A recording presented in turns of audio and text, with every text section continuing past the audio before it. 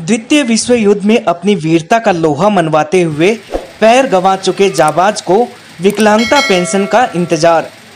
द्वितीय विश्व युद्ध में अपनी वीरता का लोहा मनवाते हुए ऑपरेशन के दौरान अपना पैर गंवाने वाले झुंझुनू ज़िले के एक जाबाज वयोवृद्ध सैनिक को अब भी विकलांगता पेंशन का इंतज़ार है। आखिर क्या है सैनिक की दर्द भरी कहानी? आइए जानते हैं। सिपाही बलवंत सिंह इन्हें 1943 में three oblique one Punjab regiment में शामिल किया गया था।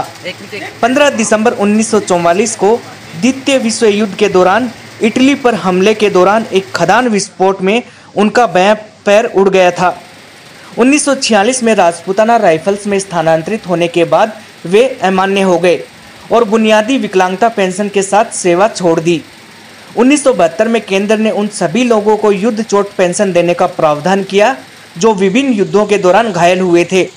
लेकिन विश्व युद्ध के दौरान घायल हुए लोगों को इससे इनकार कर दिया गया। इस फैसले के खिलाफ ये जाबाज सशस्त्र बल न्यायाधिकरण जयपुर की शरण में गया।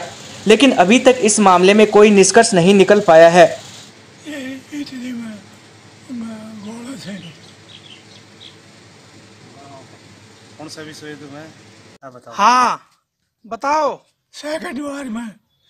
घोड़ा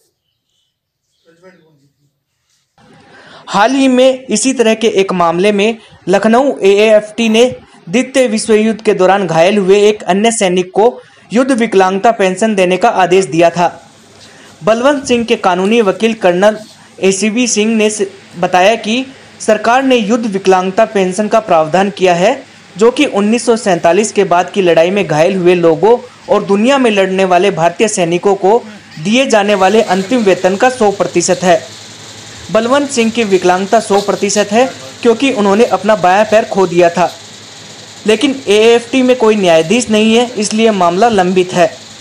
सामान्य विकलांगता पेंशन सामान्य से सिर्फ़ 30 प्रतिशत है, लेकिन उन्हें युद्ध विकलांगता पेंशन दी जानी चाहिए, जैसा कि गढ़वाल के एक सैनिक के मामले में लखनऊ एएफटी द्वारा किया गया था। युद्ध के दिग्गज ने तीन साल, दो महीने और 16 साल की सेवा के बाद 11 मई 1946 को सेवा छोड़ दी थी।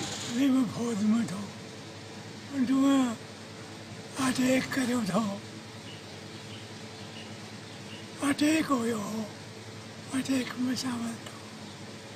तो क्या की लागी तारे पैर के? पैर का उठे ही ना के चीज़ की लागी? घोड़ा की इनके बेटे सुभाष सिंह ने कहा है कि परिवार को राज्य सरकार से कोई मदद नहीं मिली। उन्होंने कहा कि हमें कारगिल युद्ध के बाद ही इसका एहसास हुआ। हालाँकि अदालत ने कहा है कि मेरे पिता, जो राजस्थान के सबसे उम्रदराज व्यक्तियों में से एक हैं और द्वितीय विश्व युद्ध में लड़े हैं, युद्ध विकलांगता पेंशन के लिए पात्र नहीं है। मामला अदालत में है और हम आशा करते हैं कि उनके योगदान को कानूनी प्रणाली द्वारा मान्यता दी जाएगी ताकि उन्हें युद्ध विकलांगता पेंशन मिल सके।